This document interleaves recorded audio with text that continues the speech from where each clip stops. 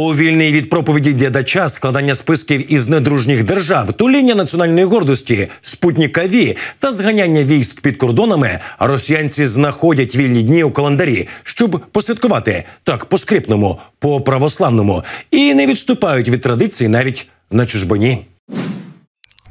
С крестного хода в Дамаске началось празднование Пасхи Христовой. Після цього ревниві поборники режиму Башара Асада посвятили яйця куліші і стартувало розгавіння. Зрозуміло, що головний мілітарно-православний двіж відбувався не у столиці Сирії, а за більш як три тисячі кілометрів у підмосковній Кубінки. Але про це нижче по випуску. Далі ж Страны G7 усилят противодействие российской пропаганде. Ідею підкинув Домінік Раб, міністр закордонних справ Великобританії, яка цьогоріч головує в організації семи найбільших індустріальних країн заходу. А Рааб пропонує продемонструвати кремлівським міньйонам та усьому світу загалом, що G7 – це не клуб західних джентльменів. Велика ж сімка засідатиме посеред червня. Що ж до механізмів реагування на російську пропаганду, то така структура уже працює при Євросоюзі з 2015 року, і назва її ЄУ проти дезінфо.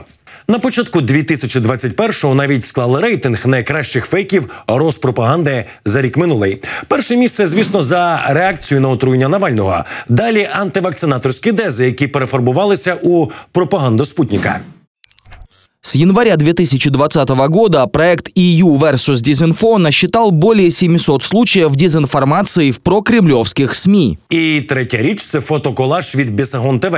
В одному із випусків Нікіта Сергійович переконував, що протестувальників у мінську просто домальовують. А фото приписав опозиційній ніхта. Такой просвет, его не может быть. Там должно быть все забито. Вторым, третьим, пятым рядом. Внизу. Видите, его нет. Это чистая, абсолютно комп'ютерна графіка. У фейкорейтинг 2021-го Міхалков точно потрапить, і саме після його проювання розлетівся шлюб гейтсів. Це Юра Гаврищак, вісті Кремля, і звичайно ж НАТО в хату.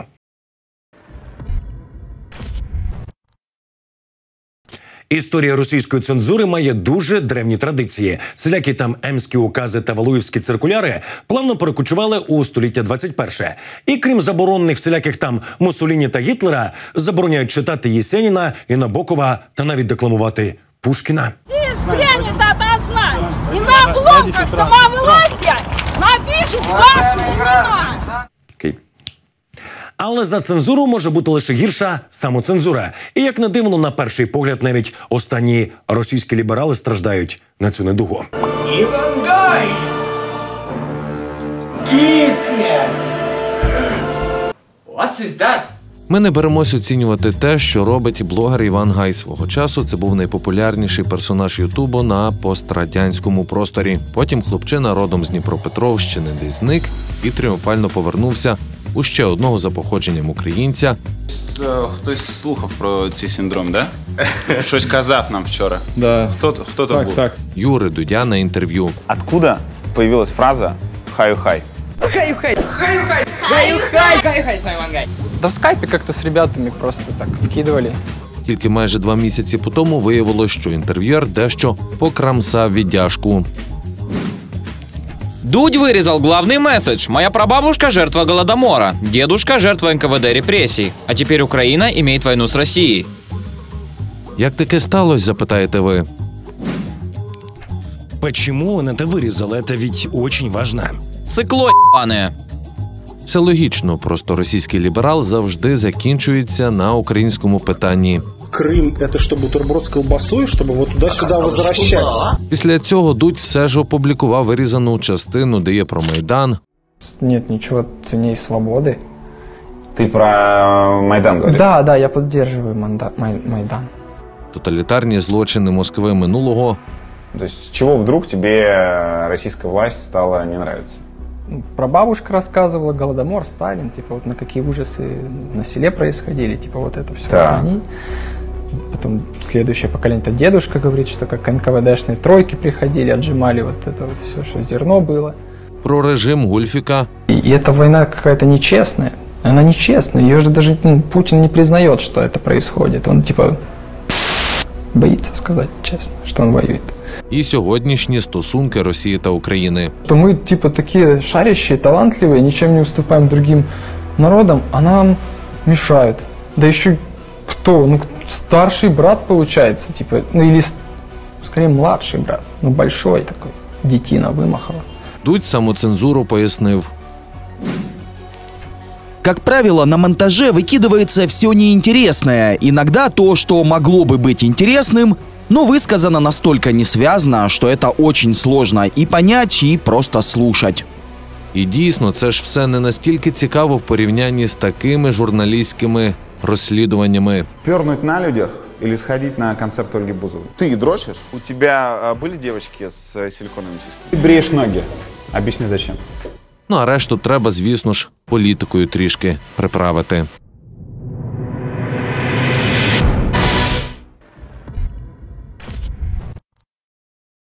І ще кілька слів про інтерв'юху Дудя і Гая. Якщо дудівці так слідкують за якістю і цікавістю власного контенту та різностороннім глибоким розкриттям героя, то що із професійної точки зору може бути цікавішим за запитання українцю, який колись заробляв мільйони на Росії, умовно, чий Крим? Крым – это Крым.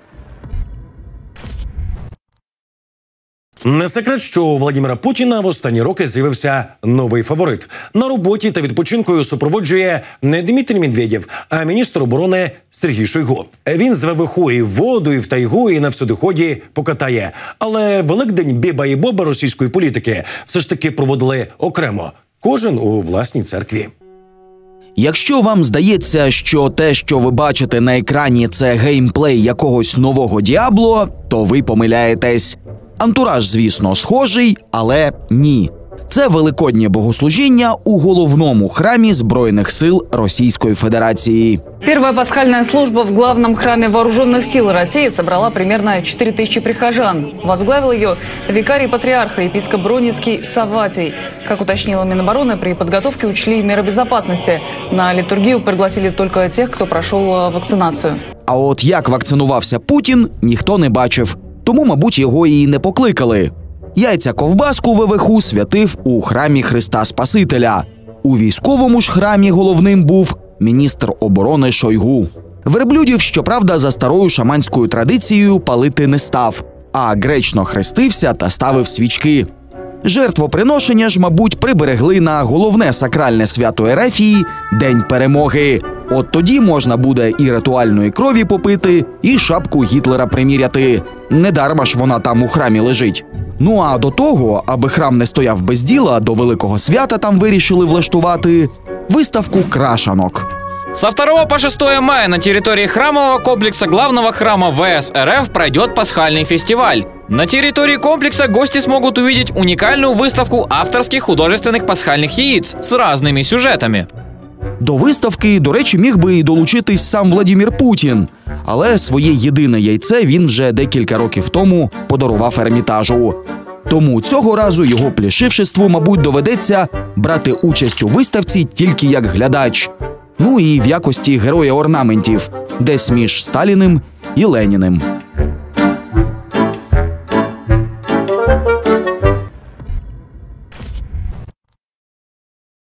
Цьогоріч через коронавірусняк російські виші вирішили приймати екзамени у студентів по дистанційці. Хтось говорить про часткову видозміну ЕГЕ, дехто взагалі заговорив про початок кінця єдиного державного екзамену. Але мільйони мільйонів із бюджету на це вже потрачені. Плюс головний біль для старшокласників, яким знову змінять правила. Та зовсім скоро росіянській школоті не буде за що переживати, бо, схоже, під своє пропахнуте ладаном крило їх бере російська православна церква. Все, я погнала на сайт. Зовсім скоро на Росії розпочнеться ЄГЕ, аналог українського ЗНО. Після ЄГЕ вже абітурієнти обиратимуть університети. Самі старшокласники методами підготовки не надто задоволені. І тим не менш ЄГЕ здавати треба: готуватись, зубрити, думати про те, де провести наступні роки, косячи від армії, аби згодом не відстоювати, наприклад, права Башара Асада у Сирії. Ех, дружок, молод ти. Але ось допомогти школярам вирішила російська православна церква. В Краснодаре батюшка окропил школьников святой водой, чтобы благословить детей на сдачу экзаменов. Схоже, вчителі втратили віру у те, що школярі чомусь навчаться. По русскому два, по литературе при третьей четверти, в четвертой два. І до речі, це була ідея батьків, а не дітей. Відео благословіння один учень опублікував під назвою Как школа готує к ЄГЕ. Запевняв, не планував висміяти церкву, а після поширення соцмережами відео приховав. Про причини можна лише здогадуватись. Убийство человека – это очень хорошо. І це може і не так важливо, але Религиозные объединения отделены от государства и равны перед законом. Иронично. Батюшка не должен насильно кропить водой. Нет, так не делается, сказала представитель РПЦ. Да ладно. так, церква та насилля на Росії поняття жодного разу не тотожні. І це не православний батюшка повив прихожанина на новому Арбаті. Певно, це був іноагент у церковній рясі, підісланий для викорінення руської віри. Церковь всегда должна быть открыта как мать. Звісно, чи вірять російські батюшки у Бога, питання ще те. Більше схоже, що православні свята для патріарха Кіріла це привід показати світу свій стильний пасхальний посох та БЧБ рясу. І як би щиро батюшкам не хотілося допомогти школярам у складанні іспитів, це не змінить того образу РПЦ, який сформувався за правління діда. Люди не винні, що сповідують вічні цінності. Разврат, наркотики. На Росії просто обожнюють гордитися колишніми перемогами. Навіть якщо справу за тебе зробив клімат, все одно це твій російський клімат. Тому й перемога російська. Ну це зараз про Наполеона, звісно. І якщо що, то можуть повторіть. З Францією зрозуміло тягатися ніхто не планує. А от з Наполеоном можна заборонити торт, скажімо, і потячаю без спеціального дозволу. Принаймні так і з релігією працює. У Путіна ніби і є придворний мах, але в магічні здібності Гундяя тепер вірять хіба що пінгвіни. Тому й бояться власті мущів усіх ритуалів, яких не до кінця розуміють.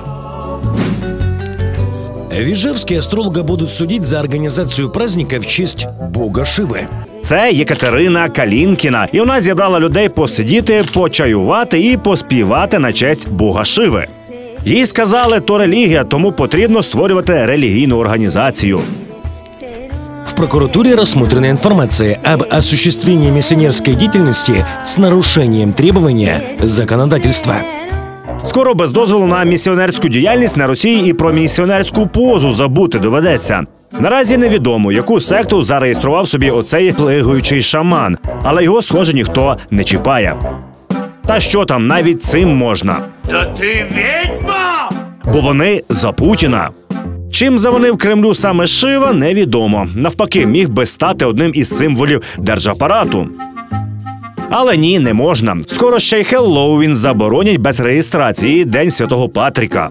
Потому что у вас документов нету. Та й взагалі збиратися їсти тістечка не можна без документу від асоціації пекарів. А якщо більше трьох людей п'ють чай без дозволу держслужби з чайних питань, то і загриміти можна.